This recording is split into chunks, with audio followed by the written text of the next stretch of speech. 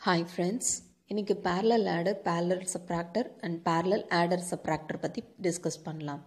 First நம்ம பார்க்க போகிறது பேரலல் ஆடர் பேரலல் ஆடர் அப்படின்னாவே ரெண்டு பீட்டை நம்ம ஆட் பண்ணுறோம் அப்படின்னா ஃபஸ்ட்டு பீட்டோட ரிசல்ட் ஆட் பண்ணி கேரி ஓவர் அகெயின் செகண்ட் பீட்டோட ஆட் ஆகும். அதிலிருந்து வர்ற கேரி அகெயின் தேர்ட் பீட்டோட ஆட் ஆகும். ஸோ இந்த மாதிரி என் நம்பர் ஆஃப் வேல்யூஸ் நம்ம ஆட் பண்ணும்போது n number of bits add பண்ணும்போது ஒரு பீட்டோட ரிசல்ட் கேரி இன்னொரு பீட்டுக்கு இன்புட்டாக கிடைக்கும். ஸோ அந்த மாதிரி பேஸஸில் தான் இப்போ நம்ம பார்க்க போகிறோம் நமக்கு ஏற்கனவே தெரியும் ஃபுல் ஆர்டர் அப்படின்னாவே three inputs two outputs three inputs அப்படின்றதுன்னு ரெண்டு bit value A not B நாட்னு ரெண்டு வேல்யூ எடுத்திருக்கேன். சிஇன் அப்படிங்கிறது இனிஷியலாக சிஇன்னோட வேல்யூ ஆடர் அப்படின்னா ஜீரோன்னு இருக்கும்.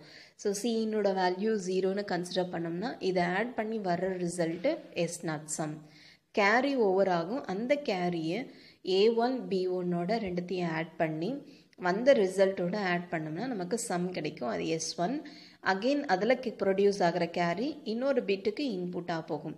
ஸோ இந்த மாதிரி என் நம்பர் ஆஃப் வேல்யூஸ் இருக்கும். இது வந்து பார்த்திங்கன்னா n block of it is block diagram of n bit parallel adders எத்தனை பிட்டு கேட்டிருக்காங்களோ அத்தனை பிளாக்ஸ் மட்டும் போட்டால் போதும். ஸோ இங்கே ஒரு எக்ஸாம்பிள் இருக்குது design four bit parallel adder using full adder அப்படின்னு கேட்டாங்கன்னா நம்ம ஃபோர் பிட்டு எழுதுகிறோம் A not B not A one B one A two B two A three B three ஒன்றுமே கிடையாது. ஃபோர் பிட்ஸ் வேல்யூவை ஏன்னு எடுத்திருக்கேன்.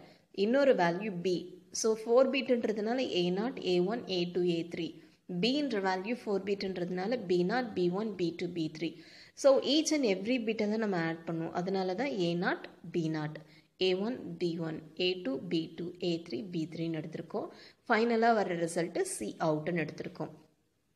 இதில் ப்ரொடியூஸ் ஆகிற sum S not S one S two and S three சியினோட value zero மறந்துடாதீங்க. Adder அப்படின்னாவே சியினோட வேல்யூ இனிஷியலாக ஜீரோன்னு கன்சிடர் பண்ணியிருப்போம் இது போல் எத்தனை நம்பர் ஆஃப் பிட்ஸை டிசைன் பண்ணாலும் அத்தனை பிளாக் போட்டுட்டு ஃபைனல் ரிசல்ட்டை இந்த மாதிரி மேக் பண்ணணும்.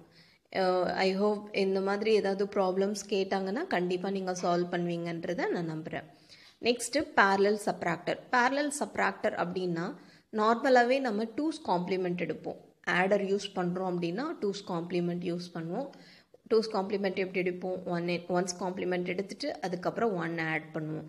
ஸோ அதனால் இங்கே சிஎன்னோட வேல்யூ ஒன்னு எடுத்துக்கிறேன். A not and B not அந்த பி நாட்ன்றது ஒன்ஸ் காம்ப்ளிமெண்ட் ஆஃப் பி இப்போ ரெண்டு பிட்டை நம்ம வந்து சப்ராக்ட் பண்ணணும் அப்படின்னா ஏன்ற வேல்யூ அப்படியே வச்சுட்டு பிக்கு ஒன்ஸ் காம்ப்ளிமெண்ட் எடுத்துட்டு அகெயின் வந்த ரிசல்ட் வந்து ஒன் ஆட் பண்ணுவோம். இதுதான் procedure so A not B not ரெண்டு ரிசல்ட் இருக்குது ரெண்டுத்தையும் ஆட் பண்ணி வர ரிசல்ட் கேரியோட ஆட் ஆகும். ஸோ டூஸ் காம்ப்ளிமெண்ட் எடுத்து வந்த ரிசல்ட் தான் எஸ் நாட் அதுலேருந்து வர்ற வேல்யூ வந்து அகெயின் திரும்ப செகண்ட் பீட்டோட கேரி ஓவர் ஆகும். ஸோ இந்த மாதிரி என் நம்பர் ஆஃப் வேல்யூஸ் நம்ம பண்ணுறது பேரலல் சப்ராக்டர்னு சொல்லுவோம். ஸோ பேரலல் சப்ராக்டர் சப்ராக்டர் தான் பட் நம்ம யூஸ் பண்ணுறது வந்து ஃபுல் ஆடர் யூஸ் பண்ணியிருக்கோம். ஸோ இங்கே ஆடர் ஏன் யூஸ் பண்ணுறோன்னா நமக்கு டூஸ் காம்ப்ளிமெண்ட் அடிஷன் யூஸ் பண்ணும்போது அது சப்ராக்ஷன் ஆப்ரேஷன் பெர்ஃபார்ம் பண்ணும்.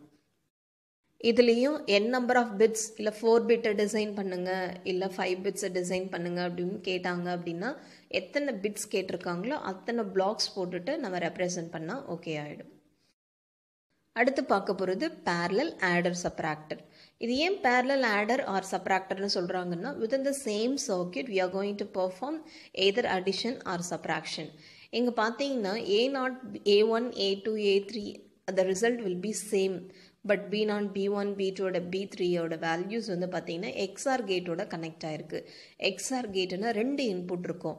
ஒரு இன்புட் எல்லாத்துலேயுமே காமனாக எம்னு கனெக்ட் ஆகிருக்கு மீதி இருக்கிற இன்புட் வந்து பார்த்திங்கன்னா B not B one B two B த்ரீன்னு கனெக்ட் ஆகிருக்கு ஸோ ஃபஸ்ட்டு இருக்கிற எம் ஒன் வேல்யூ சின்னா ஆக்ட் ஆகுது. இதுலேருந்து பெர்ஃபார்ம் பண்ணி வர ரிசல்ட் எஸ் நாட் இதில் கேரி ஓவர் ஆகுறது அடுத்த பீட்டோட ஆட் ஆகி அதில் ப்ரொடியூஸ் ஆகுறது எஸ் ஒன் அதோட கேரி திரும்பவும் நெக்ஸ்ட் பீட்டுக்கு இன்புட் ஆகுது. ஸோ இந்த மாதிரி என் நம்பர் ஆஃப் வேல்யூஸ் போட்டுக்கலாம்.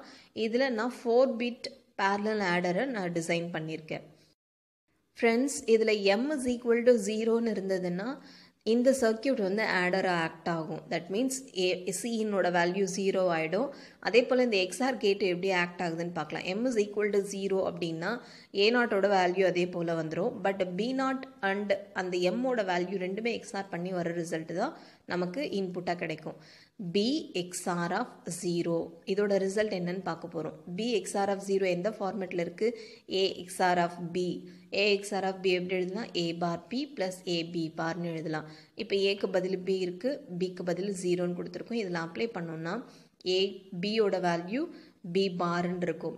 ஏ பாருக்கு பதில் பி பார் இந்த ஜீரோ வந்து என்ன ஆகுனா ஜீரோ அப்படியே வரும். ப்ளஸ் பி இன்ட்டு ஏவோட வேல்யூ பி இன்ட்டு பி பாரோட வேல்யூ இங்கே ஜீரோனா இங்கே ஒன்னு வரும். அப்போ பி எக்ஸ்ஆர் ஆஃப் ஜீரோட வேல்யூ பி ஸோ இந்த பியோட வேல்யூ தான் இங்கே கிடைக்கும். அப்போ பி நாட் அப்படியே கிடைக்கும். So B not A not ரெண்டுத்தையும் ஆட் பண்ணி வர ரிசல்ட் தான் S not similarly A A one B one A two B two A three B three இது எல்லாமே சேம் ரிசல்ட் இப்போ நம்ம ப்ரீவியஸில் பார்த்தா ஆடர் சர்க்கியூட் மாதிரி ஆக்ட் ஆகும்.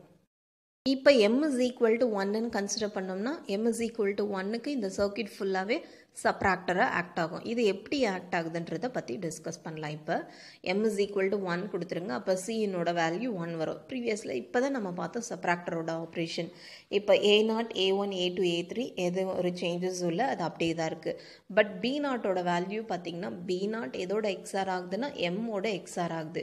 எம்மோட வேல்யூ இப்போ நம்ம என்ன கொடுத்துருக்கோம்? ஒன்னு கொடுத்துருக்கோம். அப்போ பி எக்ஸ்ஆர் ஆஃப் ஒன் இதோட ரிசல்ட் வந்து பி பார்னு கிடைக்குது. According to A XOR of B is equal to A bar B plus A B bar இதில் நம்ம சப்ஸ்டியூட் பண்ணோம்னா பி பார் இன்ட்டு இங்கே ஒன்று அப்படியே வரும். ப்ளஸ் பி இன்ட்டு ஒன்க்கு பதில் இங்கே ஜீரோ வரும். அப்போ நம்ம ரிசல்ட் என்னன்னா பி பார்னு கிடைக்கும். பி எக்ஸ்ஆர் ஆஃப் ஒன்னோட ரிசல்ட் பி பார்னு கிடச்சிச்சு. அப்போ B not B one B two B three எல்லாமே நாட் கேட்டாக ஆக்ட் ஆகும். ஸோ இது சர்க்கியூட் வந்து பார்த்திங்கன்னா சப்ராக்டர் நமக்கு ஏற்கனவே பார்த்துருக்கோம் சப்ராக்டர் அப்படின்னா டூஸ் காம்ப்ளிமெண்ட் எடுக்கணும். டூஸ் காம்ப்ளிமெண்ட் எடுக்கிறதுக்கு முன்னாடி one's complement of any other value so A பின்னு கொடுத்ததில் பியோட வேல்யூ நம்ம இப்போ காம்ப்ளிமெண்ட் எடுத்திருக்கோம். சிஇன்னோட வேல்யூ அதாவது டூஸ் காம்ப்ளிமெண்ட் எடுக்கிறதுனால A சிஇன்னோட value one that is me that means M is equal to one இப்போ இது வந்து பார்த்திங்கன்னா சப்ராக்டராக ஆக்ட் ஆகும். So within the same circuit adder and subtractor ரெண்டுமே ஆப்ரேஷன் பெர்ஃபார்ம் பண்ணுறதுனால இந்த சர்க்கியூட்டை வந்து பேரல் ஆடர் சப்ராக்டர்னு சொல்லுவாங்க.